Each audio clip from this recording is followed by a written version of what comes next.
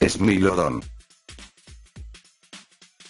El esmilodón fue uno de los depredadores más temibles en los finales del Plioceno, su tamaño podía ser de 3 a 2 metros, y pesar unos 300 kilogramos, esto dependiendo de la especie, su aspecto era muy parecido a los felinos de la actualidad, pero lo que más sobresalía era dos dientes de la boca que podían medir hasta 20 centímetros, el cual tardaba 18 meses en crecer y esto fue comprobado por expertos en la área. La fuerza de mordida del esmilodón era relativamente débil, pues sus dientes de sable eran muy frágiles y podían romperse fácilmente, lo cual se pudo afirmar que este felino solamente comía las partes blandas como el cuello, la nuca o el vientre, pues el resto del cuerpo de la presa era un poco duro, su modo de caza era muy similar al método de los leones de la actualidad, ahora viendo su condición social.